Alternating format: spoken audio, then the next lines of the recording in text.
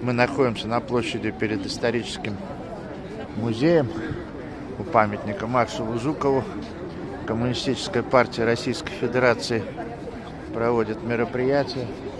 А вот э, снова мы встретили Даниила Дмитриевича Рендакова, депутата муниципального образования и, можно сказать, молодого лидера КПРФ. Скажите, пожалуйста, Даниил Дмитриевич, а для вас Владимир Ильич Ленин что такое олицетворяет?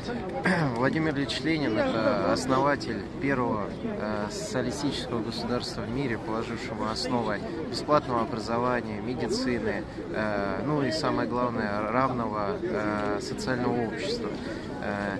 И все страны, я считаю, должны равняться на союз и в современной России перенимать только лучшее от того, что э, было заложено э, в те годы создания СССР. И для нас Владимир Ильич Ленин – это исторический лидер, основоположник советского государства, и мы все должны помнить и чтить его память. А вот как вы считаете, вот он как человек, ну, жизнь которого была подвигом, оно, он для молодого поколения, я уж не говорю, там является ли примером, а известен ли он хотя бы как личность для молодежи нашей?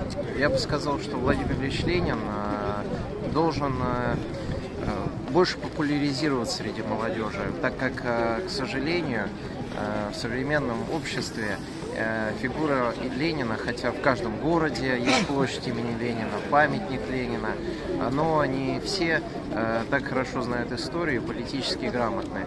Э, я считаю, надо повышать грамотность среди молодежи, изучать историю, и тогда наше будущее, подкрепленное историей, будет гарантировано.